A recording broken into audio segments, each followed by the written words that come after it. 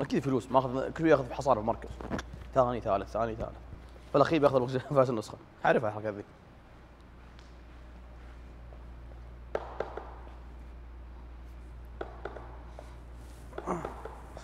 هذا من اللي الله اني ازعجته طق الباب آخر الليل هذا المسيار اللي ما تبيه. اظن مشغول خله هلا. هلا هلا يلا حيه كيف أنت؟ وشلونك؟ أخبارك؟ شو قاعد؟ علومك شو من جيت منها؟ عساك طيب. كيف الحال؟ بسم. الله لا يكون أزعجتك لا محلك الله يطول. عمرك شلونك؟ يلا حي أوه مزين الحليبة إيه يا ما شاء الله يا ما شاء الله تقهوى حليبة تبي حليبة أي شلونك؟ والله بخير عساك. طيب لا؟ يكون أزعجتك محلك الله يطول عمرك ويرفع أنت أنت قدرك الداخل وأنا الطالع. تفضل شو المساعدة الله يطول عمرك. مرحبا مسا شرفت ولا كلفت؟ هلا. يا هلا يا هلا وسهلا. دق الباب.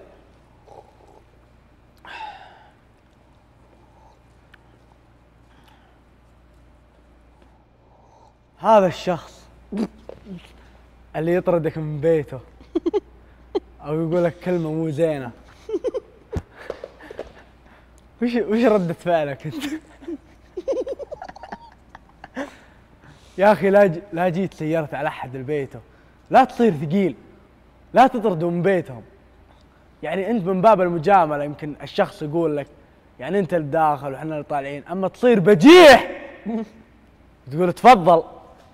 وش تبيك تكون ردة فعل الشخص اللي هو راعي البيت أو راعي المتسان عيب والله عيب. يعني أنت لا سيرت على واحد. خلك خفيف. خلك خفيف ظل. عشان الرجال وش يسوي؟ يقول لك يقول ودي أجي ودي إنه يجيني كل يوم. مو لا جاء طلع قال فكه الحمد لله إنه راح. ولا من لي هذا. خلك خفيف ظل رحت لأحد. خلك خفيف نفس. ولا تضر أبد. دايم خلك بالدنيا عابر سبيل. تمر ولا تضر. لازم تتعلم من دروس الحياة هذه. من أحد دروس الحياة إنك تكون خفيف نفس وخفيف ظل ما تطلع منك الا الكلمة الزينه وكلنا طلاب في مدرسة الحياة. صف كم؟ مهما كبرت أعمارنا أو صغرت أعمارنا فنبقى طلاب في مدرسة الحياة حتى نفارق هذه الدنيا. فخلك بصمة طيبة بالدنيا وخلك أثر طيب خلا رحت وتوفيت بعد عمر طويل. أن الناس تذكرك بكل شيء زين وأن الناس تصدق عنك. ما تخلي الناس تقول الحمد لله آه، فكه روح. فعليكم بالكلمة الطيبة يا جماعة الكلمة الطيبة ترى تصنع بالشخص شيء كبير. وهذا اللي حبيت أوصله لكم وشكرا لكم يا جماعة. رسالتنا اليوم رسالتنا اليوم حنا إن شاء الله صفقوا. إن ما يصلح الواحد يتكلم في ظهر أحد. سواء تكلم في ظهر ضيفك أو في ظهر جارك فالواحد ما يصلح انه يتكلم في ظهر أحد. مهما صار ومهما صار ومهما صار يبقى ضيفك في بيتك مهما قال لك. لا تتكلم بظهره وتشتكي للناس عليه. نهائيا خطأ. الواحد في هذه الحياة يكافح ويصمد وي- يسوي اللي يبيه. اكرم ضيفك يا مال الشحم سواء أخطأ الضيف عليك ولا ما أخطأ. أكرم ضيفك يا مال الشحم ولا تلحق شيء. فحنا في هذه الحياة لازم نكرم ضيوفنا ونسامح والكلمة الطيبة تطلع من عندنا. طبعا يا جماعة آه، بالدنيا هذه ودك إذا قدمت النصيحة تقدمها للشخص ما تفضحه قدام الناس. قدم له النصيحة بوجهه لا تفضحه أبد وتتكلم بظهره وتقعد تنصح. هذه مو نصيحة هذه فضيحة. فرسالتي لكم يا مشاهدينا الأعزاء أنك لا جيت تتكلم تكلم عند الشخص أصبر. نفسه. لا تتكلم. بظهره أبد. انتبه إنك تتكلم بظهر الرجال أو الشخص.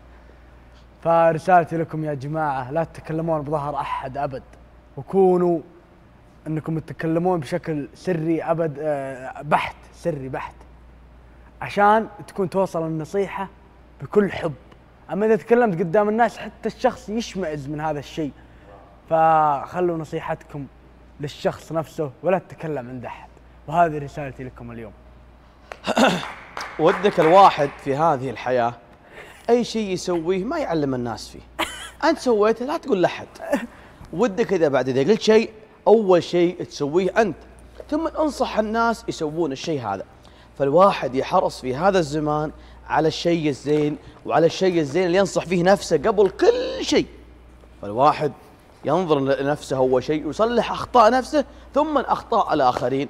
وهذه نصيحتنا اليوم. والله يجزاكم خير. طبعا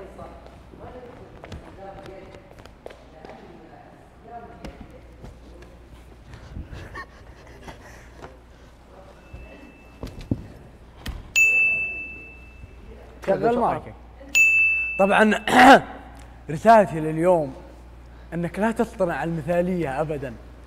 وتقعد تتكلم إنك أنت مثالي وإنك أنت الشخص الطيب.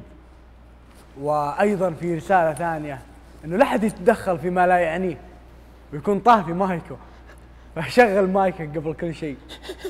عرفت شلون؟ فلازم الواحد يكون لا بغى ينصح ينصح بشكل سري. وينصح على شيء هو موجود به مو ينصح شخص و... والنصيحة مو موجودة بالشخص نفسه. وهذه رسالتي لليوم. نصيحتنا اليوم لكل الناس. أبى أخص فيها اثنين هم يعرفون أنفسهم. احرصوا على المبادرة وعلى حب بعضكم.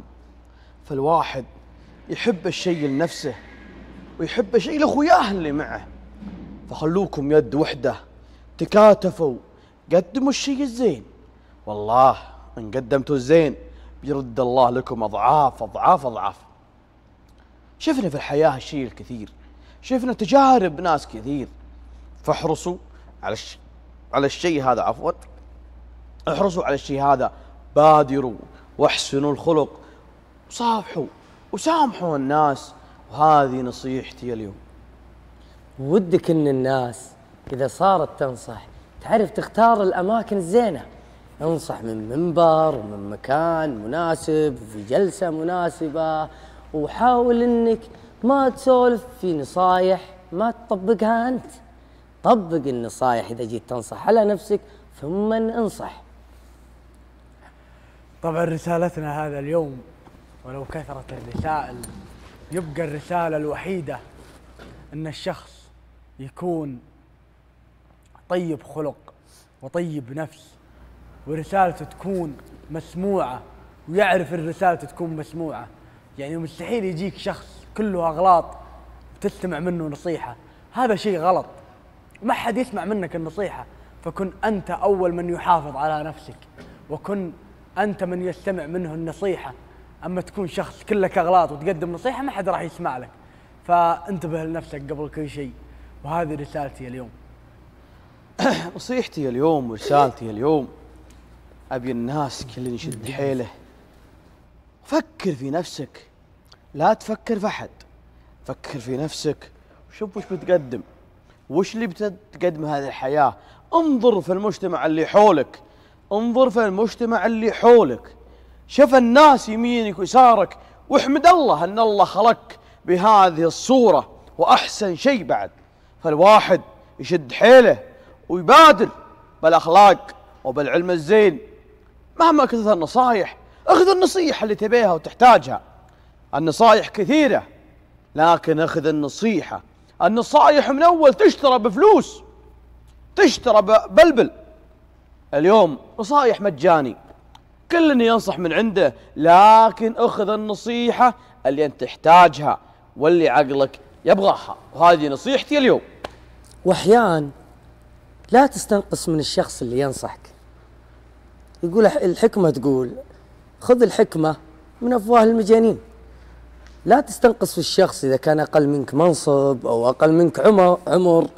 لا تستنقص منه تقبل منه النصيحة وطبقها واعمل عليها وقدم كل ما تستطيع. لابد أنك تظهر بالصورة الزينة وبالسمعة الزينة في مجتمعنا هذا. لأنك غالي علينا. الرسالة المهمة والأهم عند الناس أنك تكون شخص محافظ لأبعد درجة من كل النواحي وتكون متغير للوكيشنات. فيا جماعة الخير حاولوا تكونون من يرسم البسمة على وجوه الناس. وليس من يرسم التعاسة على وجوه الناس. فكونوا مثل ما ذكرت سابقا أنك تكون شخص يمر ولا يضر أبدا. فكن في حياتك كالشخص المثالي الذي ينضرب به الأمثال.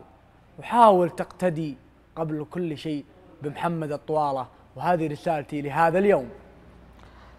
والواحد في هذه الحياة لا يشيل هموم غيره ويفكر فيها. تصير ثقيلة عليه ويمكن تكسره. الواحد يفكر في نفسه ويشيل هم نفسه. لا تفكر في أحد. والله ما راح أحد يفيدك إلا نفسك. فلا تشيل هموم غيرك وتحطها على رأسك. تتعبك وتثقل ممشاك.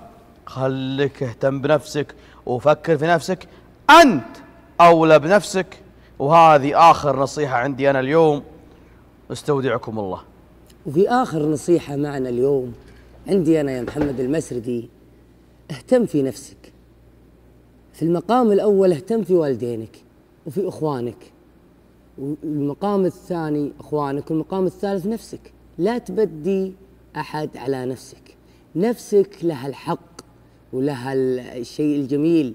لابد انك تهتم في نفسك ولابد انك تقدم في نفسك ولا تضحي على حساب نفسك الناس ما تستاهل.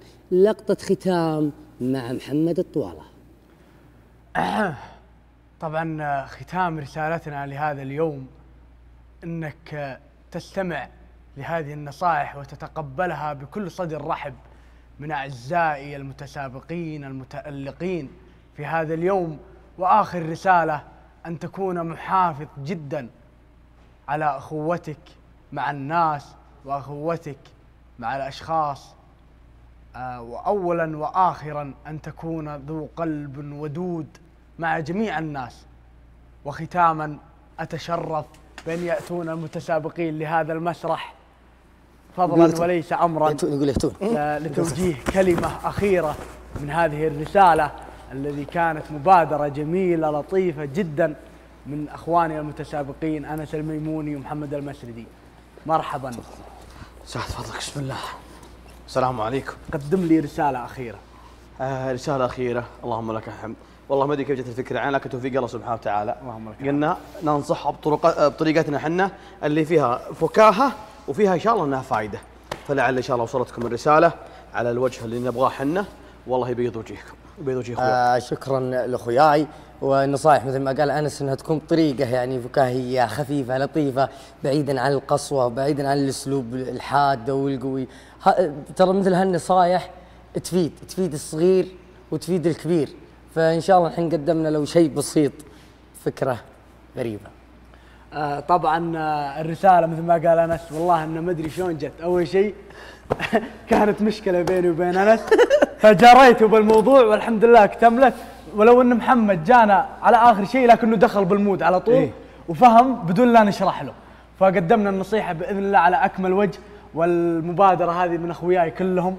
هذه فكرتنا جميعا. ولو إنها بدون سابق تخطيط لكن اللهم لك الحمد. الحمد التخاطر بين النفس أي هو. اللي خلانا نصنع الرسالة هذه جميعا. وتستاهلون تحية لأنفسكم. أنس أنس محمد. دائما دائما دائما القلوب الأربعة أصعب رقم. شكرا لكم. عفوا. عفوا لنا. والله جامده يا أنا دخلت ما أدري إيش السالفة. أنا اظل جالس هنا وأنا جالس هنا.